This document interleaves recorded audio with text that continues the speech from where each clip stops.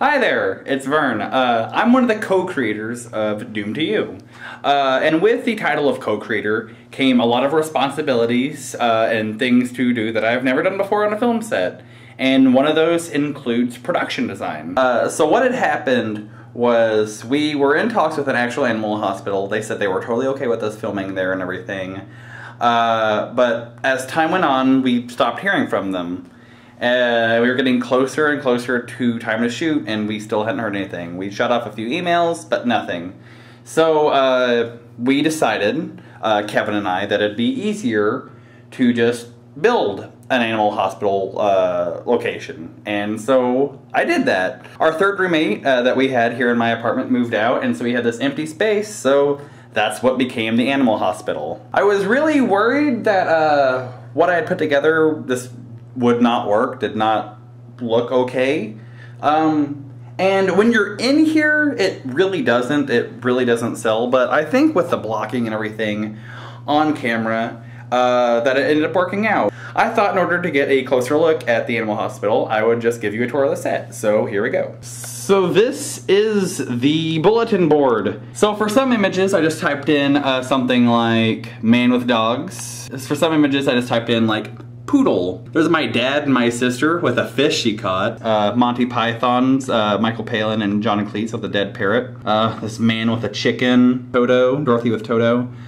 Uh, Aguirre, Wrath of God. Hey, butt kiss. Uh, Daniel Stern from Home Alone. This is my girlfriend's dog. Uh, we got Napoleon and Tina. The reason I love movies and the reason I'm making movies, I thought it was important to include a reference to him and the bird from Twin Peaks because I love Twin Peaks. My cameo in episode 3 is me with a uh, hamster, uh, but if you look closely on the board, you see that I'm also a regular patient whenever I have my pet dolphin.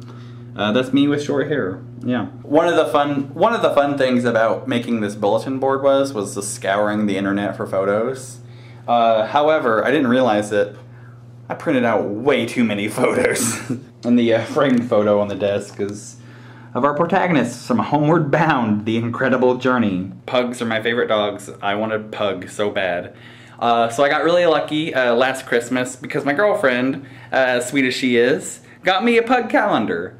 Uh, so that really helped with the uh, production design of this uh, location. I thought it'd be really funny for my character in this episode, in my cameo, to have a dead animal. Uh, just because A, that's funny, because I have a morbid sense of humor, and also like, I think it's a nice visual reference to, hey, this hamster's not gonna make it, Mike and Summer aren't gonna make it, or something like that. Just hitting home that they're a bad match. But I don't have a hamster, and I don't want to get a dead hamster purely for this location. So, on this set is in the box, instead of a dead hamster, I actually have Toxie, my little toxic uh, Crusaders action figure. I work at a pet store, so I was able to uh, get things that work that would help lend the authenticity of the set. We got these flyers for my work. The store I worked at just had a promotion uh, for Guinea Pig Day or something. It was a big thing celebrating guinea pigs, so I had this guy. I made out these signs uh, in Photoshop. These are fun. These are, uh, I just typed in diploma on Google image search and I found uh, these guys. uh, what's funny is two of them are for the same person. They are for Christopher Allen Paul Fulkerson. Uh, he got a, he's got a bachelor of music and uh, masters in music. So this guy's a pretty talented musician. This one was fun because it's in Spanish, and upon closer inspection, it appears to be for like a school of theology.